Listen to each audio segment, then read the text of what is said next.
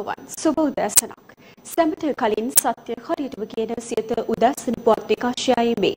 මම ලක්ෂිකා ප්‍රනාන්දු. ප්‍රථමයෙන් සිරස්තල. මෙරට තුළ ආයෝජනය කරන්න ශ්‍රී ලංකා අගමැතිගෙන් කොරියාවට ආරාධනයක් තාත්තගේ හිමින් ගමනක් දේශපාලනයේ දිගු ගමනක් යන්න මුරුත්තෙට්ටුවේ ආනන්ද හිමිගෙන් සජිත්ත උපදේශයක්. උසස් පෙළ කඩේ ලකුණු එළපෙන සඳහා. ප්‍රථමයෙන් දේශීය පුවත් මෙරට තුළ ආයෝජනය කිරීමට ඉදිරිපත් වන ලෙස අග්‍රාමාත්‍ය මහින්ද රාජපක්ෂ මහතා කොරියානු ආයෝජකයින්ට ආරාධනාවක් සිදු කර තිබෙනවා. අග්‍රාමාත්‍යවරයා මේ බව ප්‍රකාශ කර සිටියේ අරලිගහ මන්දිරයේදී මෙරට කොරියානු තානාපතිවරයා අතර පැවති සාකච්ඡාවකදී.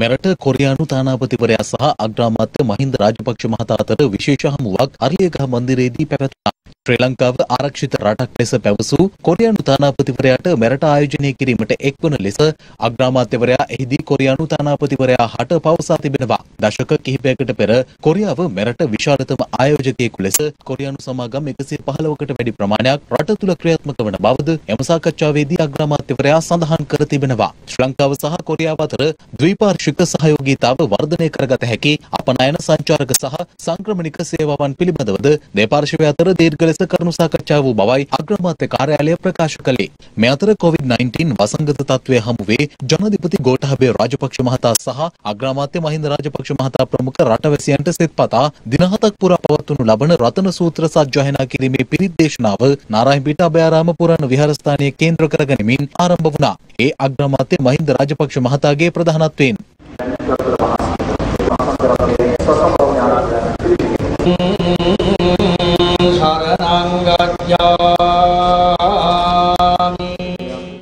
අග්‍රාමාත්‍ය මහින්ද රාජපක්ෂ මහතාද එම පිරිත් දේශනාව ශ්‍රවණය කිරීම සඳහා එක් වුණා.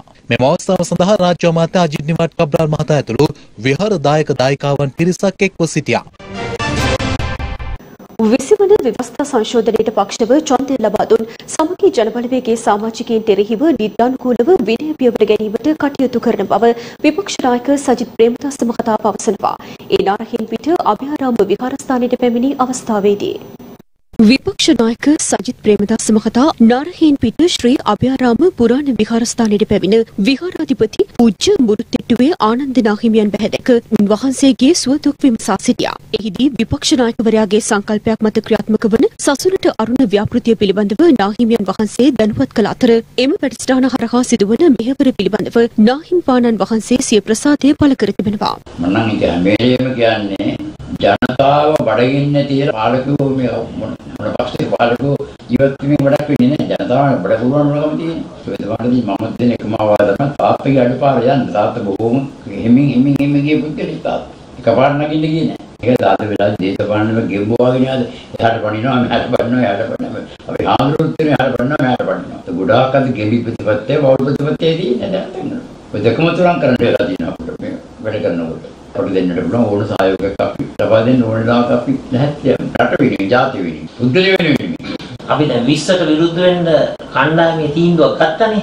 ගත්තු තීන්දුවට පටහැනිව කටයුතු කරපු සියලුම മന്ത്രിවරු අපි කණ්ඩායමෙන් නරපුවා. දෙවෙනි එක තමයි ඒ අය ඒ ගත්තු ක්‍රියාමාර්ගයට විරුද්ධව නිත්‍යානුකූලව අපි විනය පියවර ගන්නට බලාපොරොත්තු වෙනවා. ඒ වගේම අපේ විපක්ෂයේ ප්‍රධාන සංවිධායකතුමා කතානායකවරයාට මහලේකම්වරයාට දැනුම් දෙයි. විපක්ෂයක් හැටියට අපේ සමගි ජන බලවේගයත් එක්ක එකට වාඩි වෙන අපේ කණ්ඩායමෙන් ඒ අත්තුම ඉවත් කරන්න.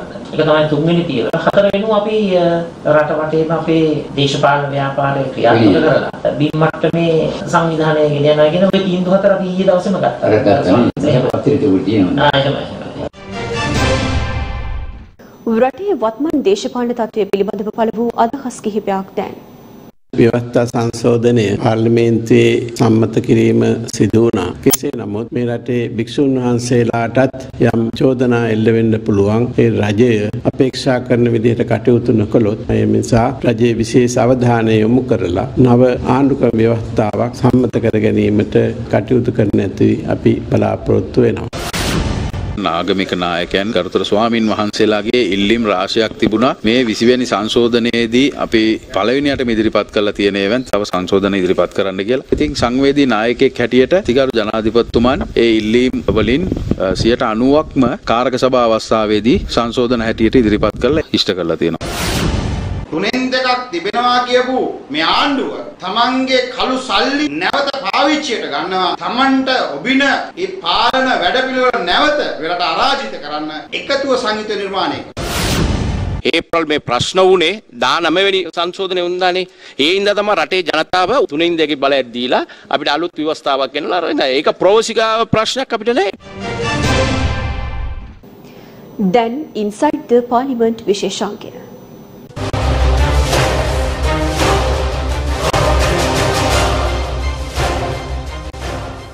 සැප්තැම්බර් මාසයේ පාර්ලිමේන්තු සැසිවාර පැවැත් වූ දිනයන් අටෙන් දින පහකටත් වඩා අඩු පැමිණීමක් තිබෙන මන්ත්‍රීවරුන් පිළිබඳව මන්ත්‍රී.lk වෙබ් අඩවියේ මෙලෙස දක්වා තිබෙනවා. ඒ අනුව සියයට පණහකටත් වඩා අඩු ප්‍රතිශතයක් පවතින මන්ත්‍රීවරුන්ද ඒ අතර සිටින අතර එම මාසයේ පාර්ලිමේන්තුව පැවති දින අටෙන් එක් දිනයකදීවත් පාර්ලිමේන්තු සැසිවාරය සඳහා සහභාගී නොවුණු මන්ත්‍රීවරුන්ද ඒ අතර සිටිනවා. එම වෙබ් අඩවියේ දක්වා ඇති පරිදි ජෝන් සෙනවිරත්න මහතා එම මාසයේ එක් දිනකදීවත් පාර්ලිමේන්තුවට පැමිණ නොමැති අතර විජේදාස රාජපක්ෂ මහතා සහ ආර් සම්බන්ධන් යන මහත්වරුන් එම මාසයේ දින දෙකක් පමණක් පාර්ලිමේන්තුවට පැමිණ තිබෙනවා. එමෙන්ම ආණ්ඩුපක්ෂයේ අමාත්‍යවරයෙකු වන විමල් වීරවංශ, මහින්ද සමරසිංහ, ජයරත්න හේරත්, අරුන්දික ප්‍රනාන්දු යන ආණ්ඩුපක්ෂයේ මන්ත්‍රීවරුන් සහ විපක්ෂයේ මන්ත්‍රීවරුන් වන කිංස් නෙල්සන් සහ අබ්දුල් හලීම් යන මන්ත්‍රීවරුන් සැප්තැම්බර් මාසයේ පාර්ලිමේන්තුව පැවති දින අටෙන් දින තුනකට පමණයි සහභාගී වී ඇත්තේ. ඒ අනුව එම සියලුම මන්ත්‍රීවරුන්ට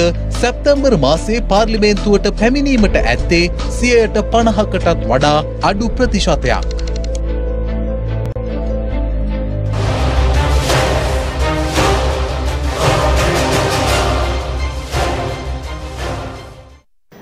දැන් අවධානය පොසිටිව් මිනිට් විශේෂාංගය වෙතයි.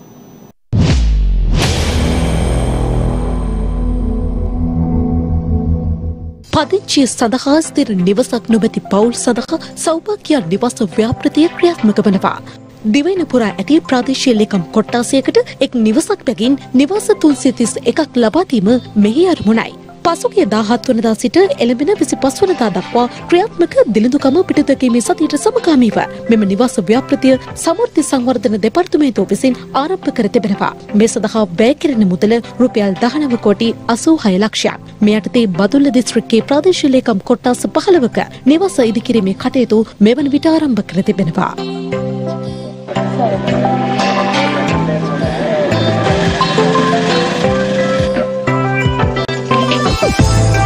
ලක්ෂ හයාමාරක ගෙවල් 64ක් ග්‍රාම සේවා සංඝටත් මේ වෙනකොට ක්‍රියාත්මක වෙනවා. ඉතින් ඇත්තටම අපි නිවසක් කියන්නේ මං හිතන්නේ ඒක තමයි මූලිකම දේ. මට මේ කරපු දව්වට මම පොරොන් දෙනවා මේ ගෙදර අනිවාර්යෙන් මම අත්ත ඔබතුමාලට පෙන්නනවා කියලා. මට ඕනේ උනේ මේ දරුවන්ට තැනක් හදන්න විතරයි.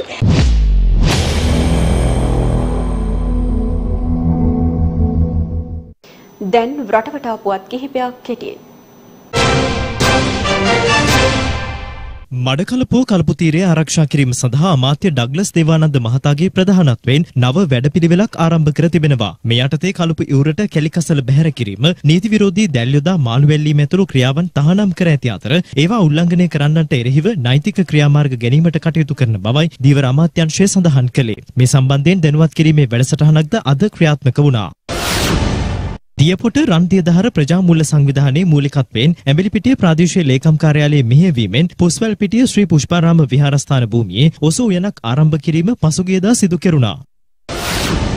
හැට නගරේ වෛද්‍ය මධ්‍යස්ථානයක පිහිටි ඖෂධ අලවිසැලකට පැමිණි පුද්ගලයෙකු එහි ඖෂධ සොරාගන්නා ආකාරය එම වෛද්‍ය මධ්‍යස්ථානයේ සවිකර තිබූ ආරක්ෂිත කැමරාවක මෙලෙස සටහන් වී තිබුණා.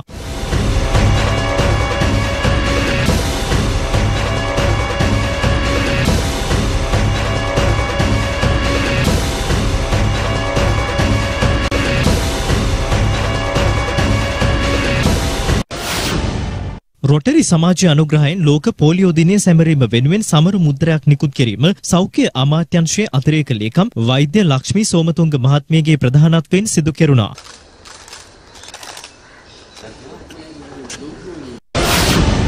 දෙදහස් දානමය අපොස උසස් පෙළ විභාගයේ කඩයිම් ලකුණු ලබන සඳුදා නිකුත් කරන බව විශ්වවිද්‍යාල ප්‍රතිපාදන කොමිෂන් සභාව සඳහන් කර තිබෙනවා. උදැසන පුවත් විකාශය අවසන්. තවත් උණුසුම් පුවත් දැනගැනීමට පිවිසෙන්න ලංකාවේ අංක එකේ සිංහල වෙබ් අඩවිය www.siethanews.lk අපගේ වෙබ් අඩවියට. යළිත් හමුවෙමු මධ්‍යහන පුවත් විකාශයත් සමගින්. ඔබට සුබ දවසක්. දිනපතා අලුත් වීඩියෝ සහ ප්‍රවෘත්ති නැරඹීමට ඉහත බටන එක ක්ලික් කර සියත TV සබස්ක්‍රයිබ් කරන්න.